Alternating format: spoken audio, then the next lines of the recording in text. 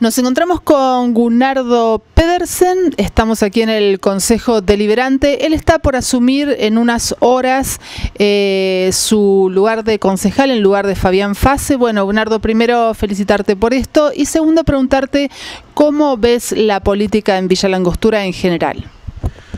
Yo creo que me voy a dar el permiso a mí mismo de opinar que veo trabajando muy bien el Consejo Deliberante eh, en la parte de nuestro bloque, por suerte, tenemos un equipo de trabajo que es interesante, está formado por jóvenes independientes y algunos eh, viejos afiliados a distintos partidos, particularmente este, un sector de los radicales, mm, digamos, que no, no armamos oportunamente el Frente Cambiemos, pero que estamos desde este espacio político en una, en una construcción eh, la política en, la villa eh, responde a los parámetros tradicionales.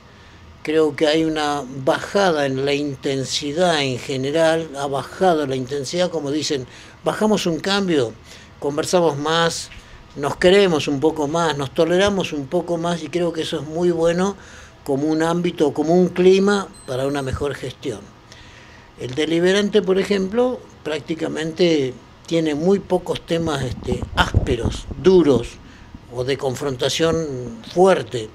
Se ha bajado también un poquito la, cuestión, de, eh, digamos, de estas mismas confrontaciones, en mérito que eh, observamos una, muy buena eh, integración, del, tal vez producto de una estrategia que le resulta muy natural a Fabián Fase, dado que no lleva encima la mochila de identificación de ningún partido anterior, es independiente, sumado a este espacio político, con lo cual no provoca tampoco este, prejuicios.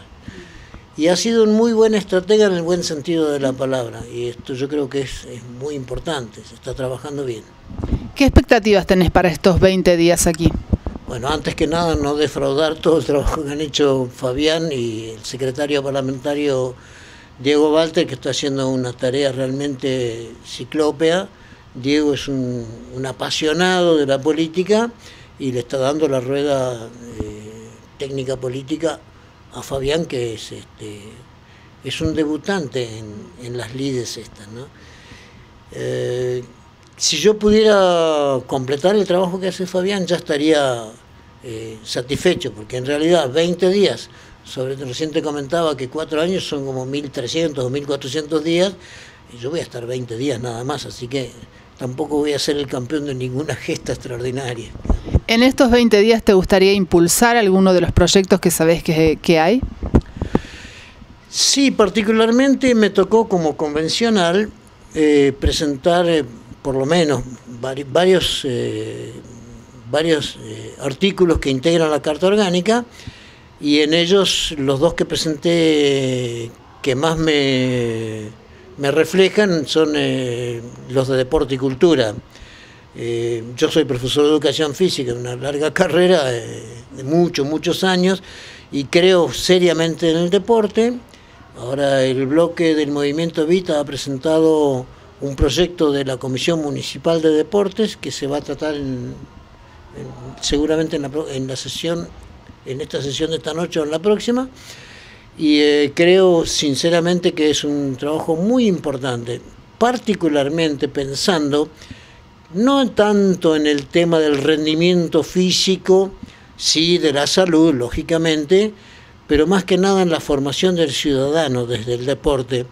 Eh, los agregados que haya que hacer a la Comisión Municipal de Deporte y la acción posterior me interesan particularmente para que los profesores que trabajen en, esta área municipal sepan y mejoren y, este, y estudien y lleven a cabo un objetivo muy importante que es la formación social y cívica.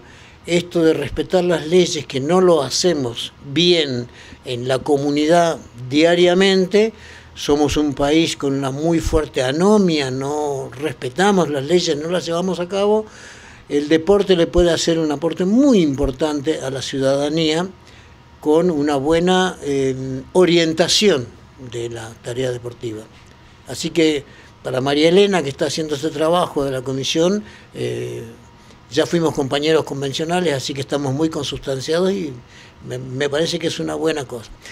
Otra de las cosas que me parece muy importante es la de aportar, que ya lo viene haciendo Fabián, lógicamente, yo voy a tratar de continuar, aportar a todos los programas y las acciones que tienen que ver con la transparencia institucional eh, y en ese sentido este bloque ha presentado el proyecto de auditor municipal y el proyecto de defensor del pueblo municipal. Eh, son verdaderamente dos figuras muy importantes. El defensor del pueblo también tiene dentro de sus, eh, digamos, tareas previstas la mediación. Y eh, podemos decir cualquier cosa, pero esta es tierra de conflictos. Tierra de conflictos que se podría bajar también los decibeles si hubiera buenas mediaciones y si además de esto hubiera una instancia rápida, ágil, que pueda ser el defensor del pueblo.